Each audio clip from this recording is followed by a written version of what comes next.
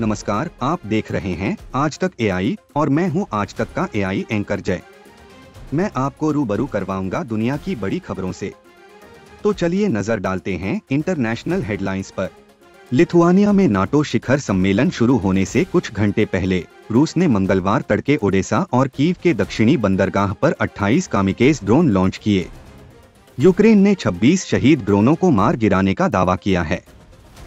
Odesa में 22 ड्रोनों को मार गिराया गया और दो ड्रोन पोर्ट में एक इमारत से टकरा गए।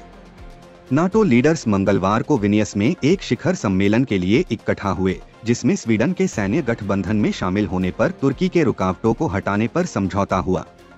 नाटो लीडर्स द्वारा यूक्रेन की सदस्यता पर मतभेदों को दूर करने की कोशिश भी की गई। मूसलाधार बारिश की वजह से सोमवार को अमेरिका के पूर्वोत्तर क्षेत्र में अचानक बाढ़ आ गई। इससे सड़क मार्ग बह गए। नदियाँ पानी में डूब गईं, 50 नावों को बचाया गया और एक महिला की मौत हो गई। पूर्वी न्यूयॉर्क राज्य से लेकर बोस्टन और पश्चिमी मेन से लेकर पूर्वोत्तर तक एक दशमलव तीन शून्य करोड़ से ज़्यादा अमेरिकी बाढ़ से प्रभावित हुए हैं। युद्ध में मारे गए लोगों के पहले स्वतंत्र स्टैटिस्टिकल एनालिसिस के मुताबिक यूक्रेन के युद्ध में करीब पचास हज़ार रूसी पुरुष मारे गए हैं। दो स्वतंत्र रूसी मीडिया आउटलेट, मीडिया जोना और मेडुजा ने फरवरी 2022 और मई 2023 के बीच 50 साल से कम उम्र के मारे गए लोगों का विश्लेषण किया है। रूस ने सार्वजनिक रूप से केवल 6000 से ज़्यादा सैनिकों की मौत की बात स्वीकार की है। आइसलैंड में राजधानी रेकजाविक के पास तेज भूकंप आने के बाद दक्षिण पश्चिम रेकजेंस प्रायद्वीप पर एक ज्वालामुखी फट गया।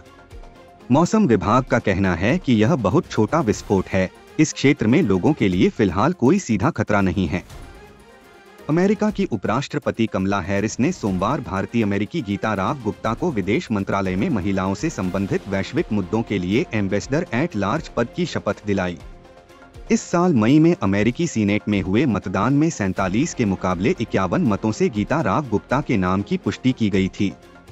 नेपाल में मेक्सिको के पाँच नागरिकों समेत छह लोगों को लेकर जा रहा एक निजी हेलीकॉप्टर मंगलवार को माउंट एवरेस्ट के पास क्रैश हो गया।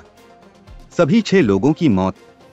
मनांग एयर के हेलीकॉप्टर नौ एन एम बी ने सुबह दस बजकर चार मिनट पर सोलुखुम्बू में सुर्की हवाई अड्डे से काठमांडू के लिए उड़ान भरी थी।